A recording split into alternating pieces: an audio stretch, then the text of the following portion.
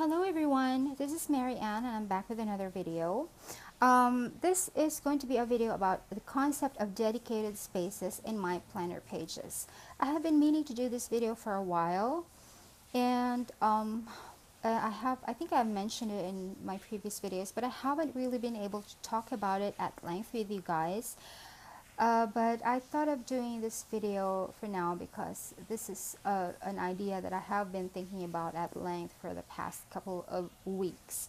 Now I have already discussed this with you what I track and why this is my, for tracking, this is for planning, and this is for my weekly task sheet that is tipped in so that I can keep it visible when I flip through the days. And my planner pages are two days, uh, I mean like one day in two pages and then I always start on a Monday and end the week on a Sunday. So when the week is over, I just fold this in and then move to a new week.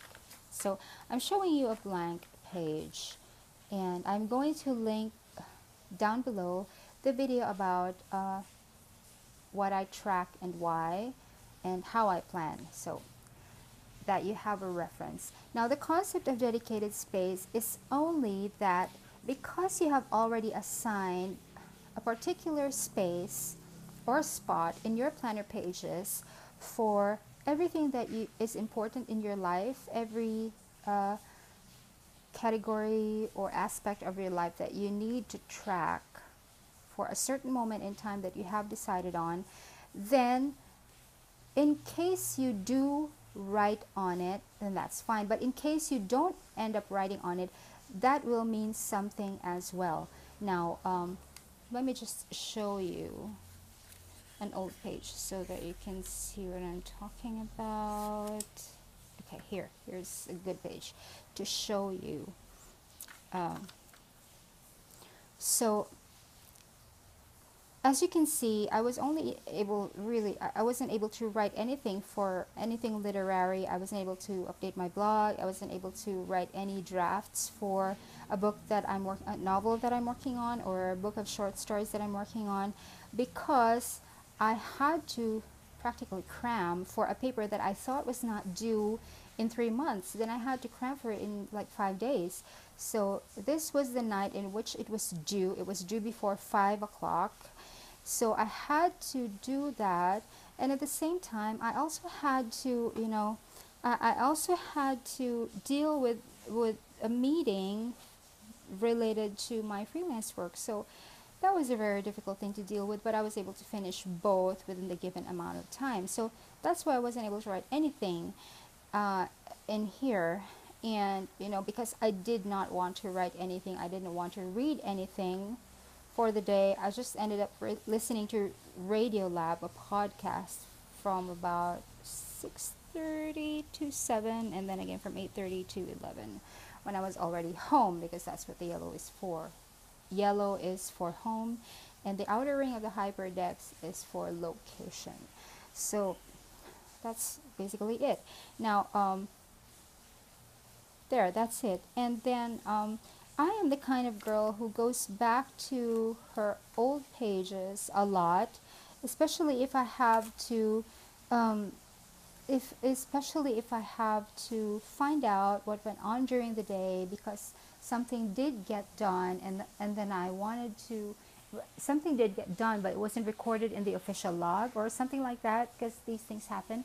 I always go back to my planner pages for the day and in case there are things that didn't get done like for example on that day that I showed you on the day that I showed you these things did not get done. They had to be moved because I was not really expecting uh, this these two meetings the dark brown ones to have happened. Now if these two dark browns didn't happen then I could have been able to have more time between um, finishing the academic paper and dealing with all these things. I could have had more time, but I wasn't. So in case things, a lot of things get rescheduled, the dedicated space that I have assigned to every ring in the hyperdex explains to me why I wasn't able to do that.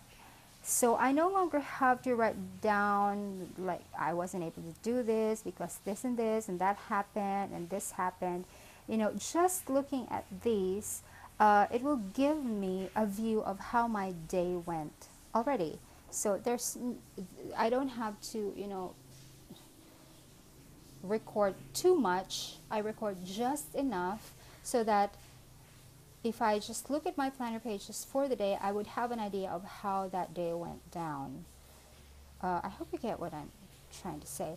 Uh, let me show you another spread.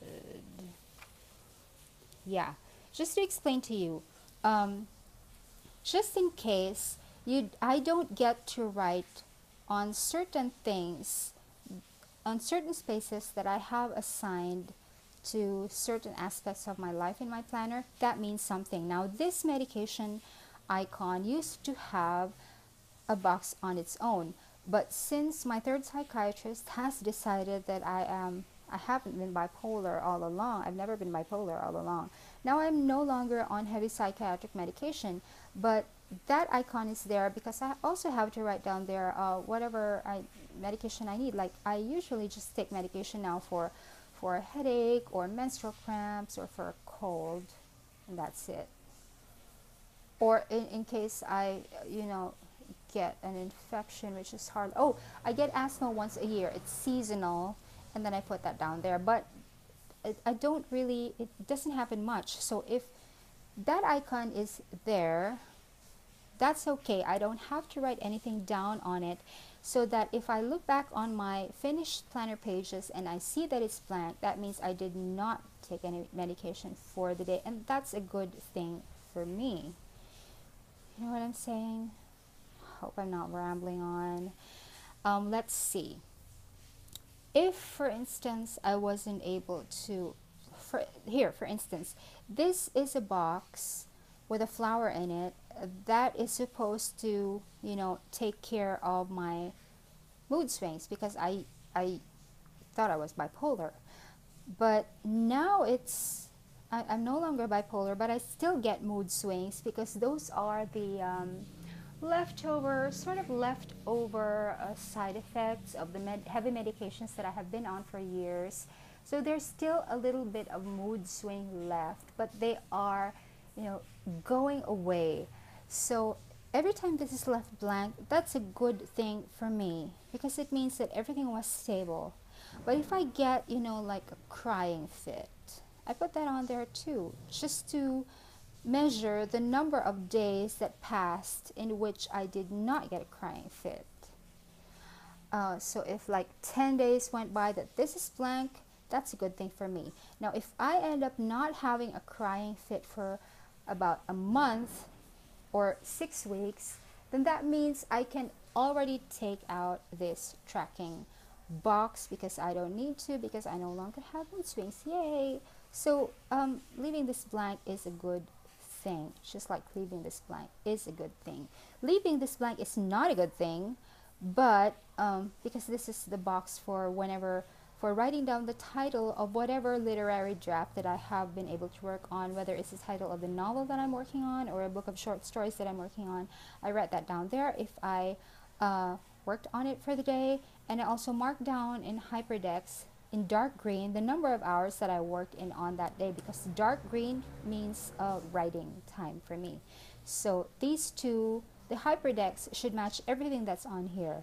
So if that is blank, that is not good. But the only acceptable uh, situation in which that will not get written on and this will not have any dark green in it is if this is so full and this is so full and everything is so full and instead of dark green there will be you know like dark brown or pink or a lot of red with white dots because those are the colors for my school for my freelance, for my Etsy, and for personal and for work.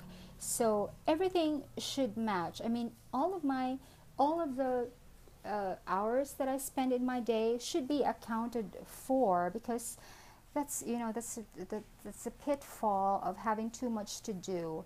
If you end up with a if you if you end the day with several tasks not done. Sometimes I blame myself, like, why did I not do this? I'm so inefficient, I'm so lazy. So, but sometimes there are good reasons why they don't get done, and that's why tracking is important, and that's why the hyperdex is important. And uh, for instance, uh, like there was that one day in which um, I, I, you know, I, I had to go to school. I, I usually go to school on Mondays, Monday afternoons, but the traffic was so so bad and I, I heard the news about it. That's why i left the office early so i could get to school on time. But i still wasted three hours in traffic just to travel you know like 35 38 kilometers from office to school. So that was a very bad day. So um, in effect there were certain things at work that i wasn't able to finish for the day which i had to move to the next day but at least I know that I wasn't able to finish it for the day, not because I was inefficient or lazy, but because I was stuck in traffic. So that's uh, that's the thing about tracking your time with the hyperdex. it, it, it gives you the bigger picture and it places all of your time in context with everything else that you know falls on your lap for the day so that you don't end up blaming yourself in case you leave some tasks not done.